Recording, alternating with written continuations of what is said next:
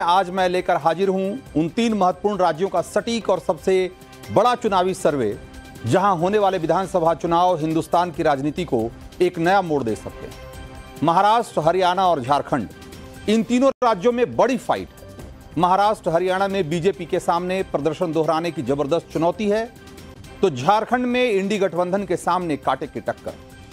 तीनों राज्यों में क्या चुनावी बयार बह रही है और चुनाव के बाद क्या तस्वीर उभर सकती है कौन से फैक्टर हैं जो बड़ा चुनावी उलटफेर कर सकते हैं और उन्हें लेकर जनता के मन में आखिर क्या चल रहा है? अगले एक घंटे में मेट्राइज सर्वे का बिग पिक्चर आपके सामने हम नवभारत पर खोलेंगे। तीनों राज्यों में मेट्राइज ने 12 अगस्त से 5 सितंबर तक इस सर्वे किया है जिसमें महाराष्ट्र का सैंपल साइज़ 38,830 है हरियाणा का 21,647 और झारखंड का 24,330 मेट्राइज ने फ़ील्ड सर्वे और टेलीफोनिक सर्वे के रैंडम सैंपलिंग के ज़रिए सारा डेटा जुटाया है। तो शुरुआत महाराष्ट्र के सर्वे से, जहाँ की राजनीति अक्टूबर 2019 में हुए विधानसभा चुनाव के बाद कई चौंकाने वाले मोड़ ले चुकी है। यहाँ दो फाड़ हुई शिवसेना है और एनसीपी भी। तो वहीं हाशिए पर खिसकती कांग्रेस भी है। वर्चस्व से लेकर विरासत तक की एक बड़ी लड़ाई छिड़ी हुई है महाराष्ट्र में। और जून में आए लोकसभा चुनाव के नतीजे बीजेपी के लिए कोई बहुत अच्छे नहीं थे। ऐसे में महाविकास आघाड़ी की उम्मीदें ज़ोर मार रही। और इन सब के बीच सवाल यही कि महाराष्ट्र विधानसभा की बाजी कौन सी करवट लेने वाली? तो हम आपको बताएँगे अगले घंटे में इन तीनों राज्यों के से जुड़े हुए आंकड़े। लेकिन उससे पहले भी आपको बता दें कि नवभारत और मेट्राइज के सर्वे में आज जो बहुत महत्वपूर्ण सवाल और बहुत महत्वपूर्ण और बहुत चौंकाने वाले जो खुलासे होंगे, उस पर चर्चा के लिए हमारे साथ कुछ खास मेहमान भी जुड़ेंगे और जो लोग हमारे साथ इस चर्चा में जुड़ेंगे, उसमें बीजेपी के प्रवक्ता हैं प्रदीप भंडारी और कांग्रेस का पक्ष रखने वाले राजनीतिक विशेष, राजनीतिक विश्लेषक तहसीन पूनावाला और उसके अलावा शिवसेना के किशोर तिवारी भी हमारे साथ जुड़ेंगे। साथ ही मेट्राइज सर्वे के डायरेक्टर मनोज सिंह भी हमारे साथ होंगे। तो उनके पास चलेंगे। उससे पहले जरा जल्दी से देख लेते हैं वो सवाल जो कि हमने इस सर्वे में पूछे और उसके उन सवालों के जवाब में महाराष्ट्र की महारा, महाराष्ट्र की जनता क्या कह रही है, जरा जल्दी जल्दी दिखाना शुरू करिए। तो हमने सवाल किया कि सीएम एकनाथ सिंधे के कामकाज को लेकर आपका क्या मत है? और इस सवाल के जवाब में लोग क्या कह रहे हैं? करीब 40 फ़ीसदी, यानी उनचालीस फ़ीसदी लोग ये कह रहे हैं कि बहुत अच्छा है और औसत कहने वाले लोग 23 तेईस फ़ीसदी हैं और बिल्कुल अच्छा नहीं कहने वाले लोग 21 फ़ीसदी हैं। 17 परसेंट लोग ये कह रहे हैं कि कह नहीं सकते कि कैसा है। अगर एक तरीके से देखें तो जो बहुत अच्छा कहने वाले और बिल्कुल अच्छा नहीं कहने वाले, अगर इसमें देखेंगे तो ये करीब करीब आधे हैं। बिल्कुल अच्छा नहीं कहने वाले, बहुत अच्छा कहने वालों के मुकाबले आधे हैं। तो ये है सवाल नंबर एक। सवाल नंबर दो, जल्दी दिखाइए। महायुति के सीएम चेहरे की घोषणा अगर पहले कर दी जाए तो क्या होगा? लोग क्या सोच रहे हैं इस सवाल के जवाब में? जरा देखिए, तैतालीस फ़ीसदी लोग ये मानते हैं कि बड़ा सकारात्मक प्रभाव पड़ेगा और खास करके महायुति के लिए अच्छा होगा। तीस फ़ीसदी लोग ये कह रहे हैं कि इसका नुकसान उठाना पड़ सकता है। अगर चेहरा पहले अगर अनाउंस कर दिया या चेहरे को पहले सामने ले आए तो कि सीएम कौन बनेगा? और कोई खास असर नहीं होगा, ऐसा मानने वाले लोग 18 फ़ीसदी हैं और 9 फ़ीसदी ये लोग ऐसे भी हैं जो कि कह रहे हैं कि उन्हें पक्के तौर पे नहीं कह सकते कि इसका क्या असर होने वाला है। तो लेकिन इतना तो स्पष्ट है कि करीब करीब तैतालीस फ़ीसदी लोग ये मानते हैं कि ये बीजेपी के लिए या यूँ कहे कि बीजेपी गठबंधन के लिए एक अच्छी स्थिति होगी अगर वो चेहरा पहले अगर अनाउंस कर दें तो। सवाल नंबर तीन, यही सवाल हमने एमवीए को लेकर, महाविकास आघाड़ी को लेकर भी हमने पूछा और उस सवाल के जवाब में जरा क्या मिलता है क्या नतीजे आते हैं जरा देखिए। सकारात्मक प्रभाव पड़ेगा ऐसा कहने वाले लोग कह रहे हैं उन, सिर्फ़ उनतीस फ़ीसदी हैं और नुकसान उठाना पड़ेगा ऐसा मानने वाले लोग तैतालीस फ़ीसदी हैं। यानी कि आंकड़ा एकदम पलट गया। वहाँ पे सकारात्मक प्रभाव पड़ेगा बीजेपी या बीजेपी गठबंधन के बारे में ऐसा मानने वाले तैतालीस फ़ीसदी थे। यहाँ तैतालीस फ़ीसदी लोग ये कह रहे हैं कि नहीं, अगर पहले अगर आपने चेहरा अनाउंस कर दिया सीएम का तो आपको नुकसान उठाना पड़ जाएगा। एकदम से आंकड़ा पलट गया है। और कोई खास असर नहीं होगा। चौदह फ़ीसदी और चौदह फ़ीसदी लोग ऐसे भी हैं जो कि कह रहे हैं कि उन्हें पता नहीं, पक्के तौर पर कि क्या असर होगा। तो यह है सवाल नंबर तीन। चौथा जरा दिखाइए। सवाल नंबर, हमने चार पूछा कि चाचा शरद पवार के के साथ जा सकते हैं क्या? अजित पवार। यह सवाल हमने किया और 45 फ़ीसदी लोग ये कह रहे हैं कि हाँ जा सकते हैं, क्योंकि हालात कुछ इसी तरीके से बने, बन रहे हैं। और ऐसा लगता है कि बीजेपी के लिए गले की फांस बन गए हैं अजीत पवार। तो क्या मालूम कि अजीत पवार को ऐसा महसूस हो और वो पाला बदल ले। तो 45 फ़ीसदी लोग कहते हैं कि हाँ बदल सकते हैं। नहीं, ऐसा नहीं होगा। ऐसा मानने वाले लोग तैतीस फ़ीसदी हैं और नहीं, जिन्हें कुछ जो पक्के तौर पे नहीं कह सकते, बाईस फ़ीसदी लोग ऐसे हैं इसमें। इसके अलावा हमने सवाल पूछा कि एनसीपी अजित अजित पवार का जो गुट है, उससे गठबंधन पर बीजेपी और आरएसएस में जो मतभेद दिख रहा है, कि आरएसएस को लगता है कि एनसीपी जो अजित पवार की वजह से ही चुनाव में बड़ी हार हुई है लोकसभा चुनाव में। तो ये जो खास करके बीजेपी और आरएसएस के बीच में इसको लेकर जो एक तरीके से चल रहा है, वहाँ पे मतभेद, क्या इसका आने वाले विधानसभा चुनाव पे कोई असर पड़ेगा क्या? ये हमने सवाल किया था और इस सवाल के जवाब में लोग क्या कह रहे हैं, जरा देखिए। कोई प्रभाव नहीं पड़ेगा ऐसा मानने वाले छत्तीस फ़ीसदी लोग हैं, उनचालीस फ़ीसदी लोग कह रहे हैं कि इसका ज़बरदस्त असर होगा। अगर दोनों के बीच में, आरएसएस और बीजेपी बीजेपी के बीच में इसी तरीके से अगर मतभेद रहा तो। 22 फ़ीसदी लोग कहते हैं कि कुछ हद तक प्रभाव पड़ेगा और कह नहीं सकते वाले तीन फ़ीसदी लोग हैं। तो ये है लोगों की राय इन बड़े सवालों को लेकर। जल्दी से दो और सवाल हैं, जरा इसी से जुड़े हुए, जल्दी से दिखाइए। हमने पूछा कि दलित और आदिवासी, दो महत्वपूर्ण वोट, बैंक, इनको लेकर के लोग क्या लोगों की राय है?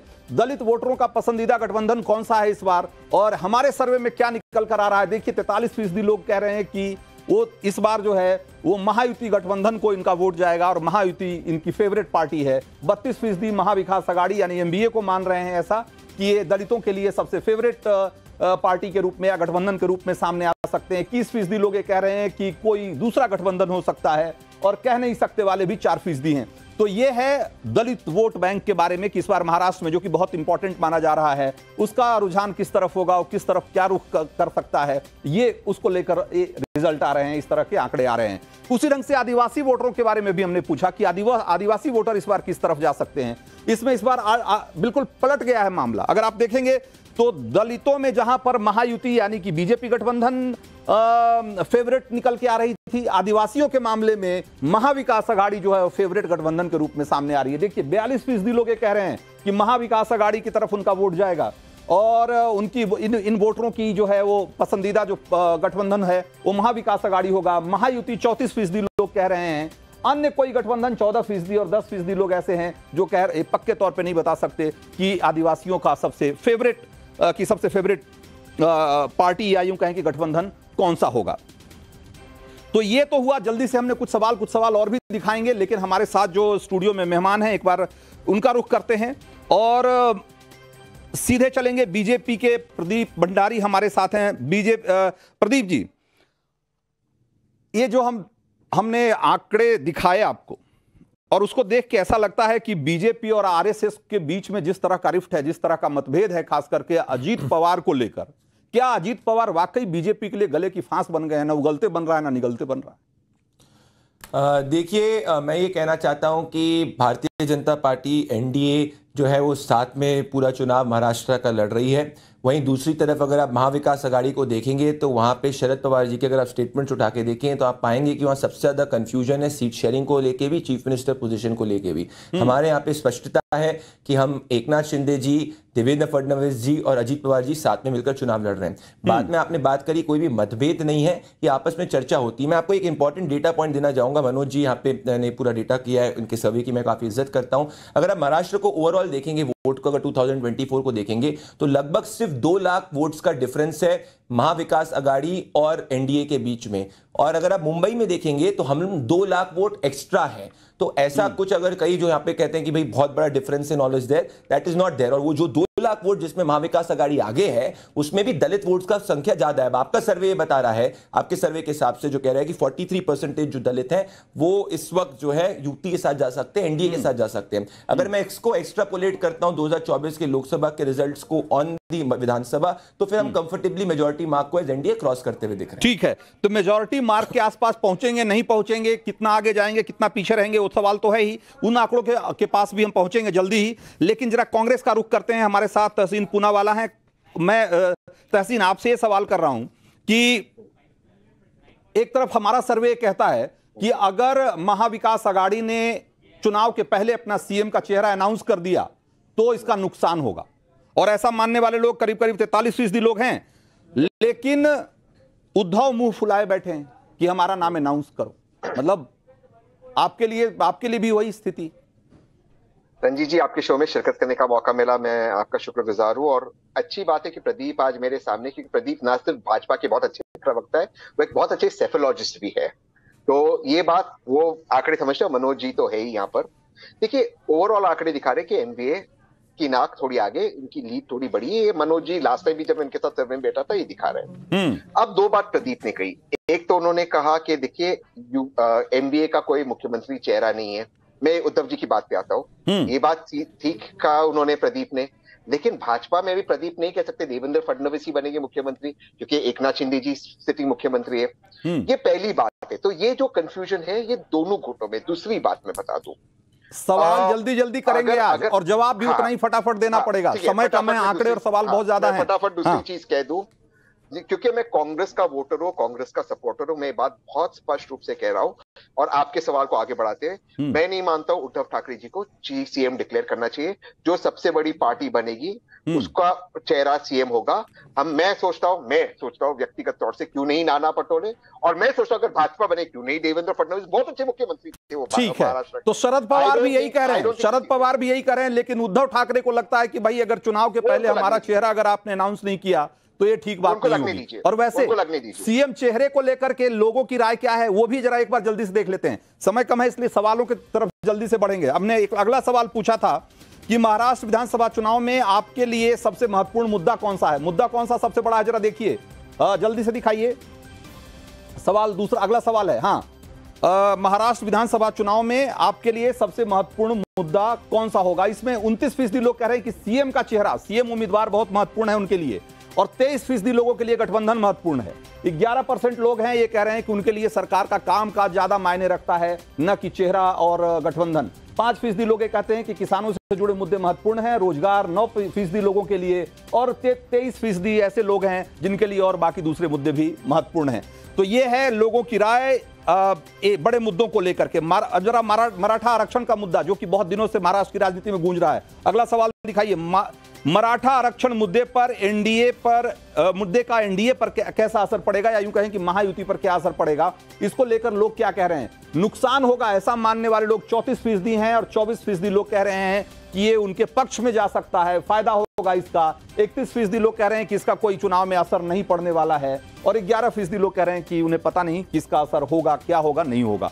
तो ये है मराठा आरक्षण, जो कि एक बड़ा मुद्दा माना जा रहा है इस चुनाव में, उसको लेकर लोगों की राय। सवाल, अगला सवाल दिखाइए। चुनाव में लाडली बहना योजना जिसका की बहुत, जिसकी बहुत चर्चा है अगेन कहा जा रहा है कि ये गेम चेंजर हो सकता है। तो उसके बारे में लोग क्या कह रहे हैं? अट्ठावन फ़ीसदी लोग मानते हैं कि बहुत ज़्यादा प्रभावी होगा। जैसा कि मध्य प्रदेश में हमने देखा था, जैसा उसी तरीके से हो सकता है कि ये इस चुनाव में भी, महाराष्ट्र के चुनाव में भी इसका बड़ा असर देखने को मिले। कुछ हद तक प्रभावी होगा ऐसा मानने वाले लोग चौबीस फ़ीसदी हैं। कोई लाभ नहीं होगा, ऐसा छह फ़ीसदी लोग कह रहे हैं, बाकी पाँच फ़ीसदी लोग कह नहीं सकते और प्रचार का एक तरीका है, सात फ़ीसदी लोग ऐसा मानते हैं। तो ज़्यादा मतलब आधे से ज़्यादा लोग मानते हैं, करीब साठ फ़ीसदी लोग मानते हैं कि इसका बड़ा असर होगा। इसी इसी तर्ज पे भाई के साथ, बहनों के साथ साथ भाइयों को खुश करने के लिए भी जो योजना लाई गई, लाडला भाई योजना, इसके बारे में लोग क्या कह रहे हैं? ये कह रहे हैं कि गेम चेंजर, ऐसा मानने वाले लोग 36 फ़ीसदी हैं जो कहते हैं कि लाडला भाई योजना है, वो गेम चेंजर साबित हो सकता है, और तैतीस फ़ीसदी लोग हैं वो कह रहे हैं कि कुछ असर होगा इसका बहुत ज़्यादा असर नहीं होगा। बाईस फ़ीसदी लोग कह रहे हैं कि कोई असर नहीं होगा और नौ फ़ीसदी हैं वो कहते हैं कि आ, उन्हें पता नहीं पक्के तौर पर कि इसका क्या असर हो सकता है चुनाव में। और अब सबसे महत्वपूर्ण सवाल जिसकी तरफ़ अभी हम जिसके बारे में अभी चर्चा कर रहे थे और आगे भी करेंगे कि आपका पसंदीदा मुख्यमंत्री चेहरा कौन है? और इसमें एक बार फिर से Eknath Shinde clear cut leader के तौर पे उभर रहे हैं। सैंतीस फ़ीसदी लोग कह रहे हैं कि उनके लिए एकनाथ शिंदे सबसे बड़े फेस हैं मुख्यमंत्री के लिए। उद्धव ठाकरे के बारे का पक्ष लेने वाले इक्कीस फ़ीसदी लोग हैं। देवेंद्र फडणवीस को सीएम देखना चाहते हैं। ऐसे लोगों की संख्या इक्कीस फ़ीसदी है। दस फ़ीसदी शरद पवार के पक्ष में हैं और ग्यारह फ़ीसदी लोग ऐसे हैं जो कि बाकी दूसरे और नामों की तरफ़ भी इशारा कर रहे हैं। तो ये है सीएम चेहरे को लेकर बात। अब जल्दी से आंकड़ों के बारे में भी बात कर लेते हैं कि मेट्राइज सर्वे में जो आंकड़े क्या कह रहे हैं और जो हमने सर्वे का जो किया है उसमें किस तरीके से अगर चुनाव हुए अभी चुनाव हुए तो किस तरह की स्थिति महाराष्ट्र में उभर के किस तरह की तस्वीर दिख सकती है जरा जल्दी से दिखाइए। और ये हमारा सर्वे कहता है कि अगर अभी अग, अगर अभी चुनाव होते हैं महाराष्ट्र में तो जरा देखिए वोट का और ये सीटों का जो आपको हम वोट शेयर भी दिखा रहे हैं और सीट भी, सीट शेयर भी दिखा रहे हैं। तो महायुति को पैंतालीस दशमलव आठ, यानी कि करीब करीब छियालीस फ़ीसदी वोट मिलेंगे और सीट मिल सकती है एक सौ सैंतीस से एक सौ बावन।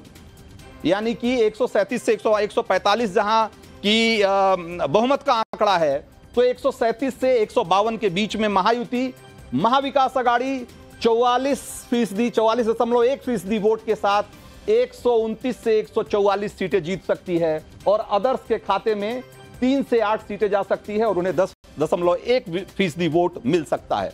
तो ये है अगर अभी चुनाव होते हैं तो इस तरह की तस्वीर महाराष्ट्र विधानसभा की आपके सामने उभर के आ सकती है। जरा आप जल्दी से एक बार ये भी दिखा दीजिए कि इसमें अलग अलग पार्टियों का किस तरह का अ, का आंकड़ा दिखेगा। तो अगर आप देखिए तो बीजेपी सबसे ज़्यादा वोट शेयर के वोट शेयर के साथ 26 फ़ीसदी के वोट शेयर के साथ तिरासी से तिरानवे सीट, शिवसेना जो सिंधे गुट है, उसको करीब बयालीस से बावन सीट। उसके अलावा एनसीपी को जो अजित पवार गुट है, उसको सात से बारह सीटें मिल सकती है। कांग्रेस को अट्ठावन से अड़सठ सीटें।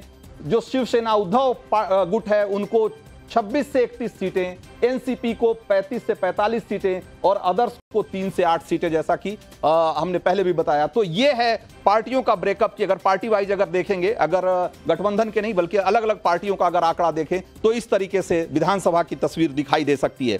तो ये है मेट्राइज सर्वे का जो लेटेस्ट सर्वे है उसके हिसाब से ये आंकड़े हैं। अब फिर से एक बार वही सवाल अ, उसी सवाल का रुख करेंगे। जरा चलेंगे हम किशोर तिवारी के पास। शरद पवार नहीं चाहते कि शिवसेना के उद्धव ठाकरे का नाम सीएम के चेहरे के तौर पे अनाउंस किया जाए। और उद्धव ठाकरे हैं कि वो मान नहीं मान नहीं रहे हैं। तो ये चुनाव के पहले मामला निबट जाएगा कि चुनाव में भी इसी रिफ्ट के साथ इसी मतभेद के साथ आप लोग लड़ेंगे। हाँ देखो रंजित ऐसा नहीं है। हमारा एक लक्ष्य है बीजेपी को जो उन्होंने महाराष्ट्र में जिस प्रकार की राजनीति की और जिस प्रकार का प्रशासन दिया तो बीजेपी को सत्ता से दूर रखना और लोगों के जो जनमत है उसका सम्मान रखना। तो लेकिन एक बात है कि ये मसला हमारे चुनाव में नहीं रहेगा। हम्म, लेकिन एक बात मैं क्लियर कर रहा हूँ कि जिस प्रकार से उद्धव ठाकरे को मुख्यमंत्री पद से नीचे उतारा गया हम्म, और उद्धव ठाकरे जी ने कोरोना काल में जो अच्छा काम किया तो महाराष्ट्र की जनता चाहती है कि वो सीएम बने। और उनका सीएम बनना तय है। अगर कांग्रेस या एनसीपी बार बार कहती है यानी शरद पवार वाली एनसीपी कहती है हाँ। कि जिनके एमएलए ज़्यादा उनका मुख्यमंत्री बनेगा तो ये मैसेज गलत जा रहा है। हाँ मैं अभी क्लियर कर रहा हूँ कि हाँ। उद्धव ठाकरे को प्रोजेक्ट करना यह बहुत अच्छा है। अब क्योंकि अ, मैं यहाँ पर एक बात बता रहा हूँ हम्म। कि जो मेट्राइज का सर्वे है या मनोज सिंह ने जो बताया है तो महाराष्ट्र में कांटे की टक्कर है। हम्म। ये बात तो, लोकसभा में इतनी सीटें आने के बाद महाविकास आघाड़ी को एक सौ अड़सठ सीट पर ही उनकी लीड थी। तो मामला तो हाँ। कांटे का है लेकिन मामला मुद्दों पे रहेगा। ठीक है ठीक है मैं जरा मनोज सिंह के पास एक बार चलूँगा। मन, मनोज सिंह जी ये जो मराठा आरक्षण का मुद्दा है आपको क्या लगता है कि ये जो मनोज जारंगे के बारे में कहा जा रहा है कि अपनी अलग पार्टी बना लेंगे चुनाव लड़ेंगे? तो ये सब जो चीज़ें चल रही है इसका क्या असर देखते हैं आप इस बार विधानसभा चुनाव देखिए जहाँ तक मनोज आरंजे के जो है कहा जाता है कि ये शरद पवार के समर्पित नेता हैं और जो कहिए कि ओबीसी के लीडर हैं या मराठा लीडर हैं। हाँ। और इनके द्वारा ये आंदोलन कर रहे हैं और ये धीरे धीरे हो रहा है। लेकिन एक बात ध्यान रखिएगा कि उनके इतने बड़े आंदोलन को सिंधे ने बहुत शांतिपूर्वक तरीके से अभी तक मैनेज किया है। तो लोगों के अंदर ये मैसेज भी जा रहा है कि सिंधे किस तरीके से लीडरशिप के रूप में अपने आप को उभार रहे हैं। ऐसे स्थिति में जो आप सीएम का जो पॉपुलरिटी रेट दिखा रहे थे उसमें साफ़ दिख रहा था कि लोगों के बीच में उनकी पॉपुलरिटी रेट बढ़ बढ़ रही है। उसी के साथ से देखिएगा कि उद्धव का जैसे अभी कहा गया कि उद्धव को सीएम बनाना चाहिए था मैं भी मानता हूँ कि यदि उद्धव को घोषित करते तो चाहे कांग्रेस और शरद पवार को फ़ायदा होता लेकिन उनके लिए भी राजनीतिक थोड़ी सी दुविधा बनी हुई है देखिए उद्धव को जब हाँ। आप नहीं बनाएँगे लीडरशिप में हाँ। तो ये मानकर चलिए कि जो उद्धव की सेना है वो शिफ्ट होगी सिंधे की तरफ़ सिंधे की तरफ़। और वो आंकड़े में भी दिखेंगे बिल्कुल बिल्कुल मैं एक एकदम क्विक रिएक्शन चाहूँगा क्विक रिएक्शन चाहूँगा ब्रेक पे जाना है उससे पहले प्रदीप भंडारी महाराष्ट्र में इस बार जो शिवाजी की मूर्ति गिर गई, उसको लेकर के बड़ा एक सेंटिमेंट बना हुआ है। प्रधानमंत्री ने माफ़ी भी मांग ली, लेकिन राहुल गांधी कह रहे हैं कि जो गलती करता है, वही माफ़ी माँगता है और जनता माफ़ नहीं करेगी ऐसी गलतियों के लिए। देखिए मैं आपके सर्वे के हिसाब से जाना चाहूँगा और अगर आपके सर्वे को देखेंगे तो मैं कहूँगा कि ये कंजर्वेटिव एस्टिमेट है क्योंकि जो महिला वोटर है कोई भी आप हिंदुस्तान के इलेक्शंस को उठा के देख लीजिए पिछले 10 सालों के हमेशा महिला वोटर स्विंग वोटर है हाँ। और जो हमारी लाडली बहना जो हमारी लाडली लड़की स्कीम है उसमें अगर आप ऑब्ज़र्व करेंगे कि जो महिलाएँ हैं वो मेजर बेनिफिशियरीज हैं। 50 प्रतिशत इलेक्टोरेट कोई भी इलेक्शंस के अंदर विमेन होती है। तो अगर ओवरऑल मैं देखना चाहूँगा जितने कांटे की टक्कर दिखा रही है इसमें अगर 60 65 परसेंटेज विमेन वोट हमको पड़ जाता है तो हम ये इजीली ये इलेक्शन को निकाल लेंगे। और आप नॉन कॉन्फिडेंस इसी तरीके से देख सकते हैं। रंजीत जी 10 सेकंड लूँगा। पैनल पे ही कोई उद्धव ठाकरे को यूनानिमिटी नहीं है चीफ मिनिस्टर डिक्लेयर करने की। अगर आपके सर्वे के मैं देवेंद्र फडणवीस और एकनाथ शिंदे के अगर आंकड़ों को भी जोड़ दूँ लार्जर लेवल पे अगर थोड़ा सा एरर हटा दूँ तो वो 45 जरा मैं परसेंटेज जवाब क्रॉस कर जाता है। ठीक है ठीक है, लेकिन लेकिन वोट शेयर में एक परसेंट के आसपास का अंतर है। ये सीट में कितना बड़ा फ़र्क पैदा कर सकती है हमारे सर्वे के हिसाब से? तो ये लग रहा है कि अगर मिनिमम सीटें जो 137 में, से एक सौ बावन का जो हमारा आंकड़ा है तो अगर 37 सीटें भी, अगर 137 भी मिलती है तो अदर्स वगैरह लेकर के सरकार बनाने की स्थिति में है। लेकिन एमवीए को अपना बेस्ट प्रदर्शन करना पड़ेगा हमारे सर्वे के हिसाब से। 144 सीट तब जाकर के वो बहुमत के आंकड़े के करीब पहुँच पाएँगे 145 के। तो ये एक क्विक ब्रेक के लिए रुकते हैं। ब्रेक के बाद लौटेंगे तो हम आपको ले चलेंगे हरियाणा और झारखंड और देखते हैं कि वहाँ किस तरह की तस्वीर उभर कर आ रही है सामने।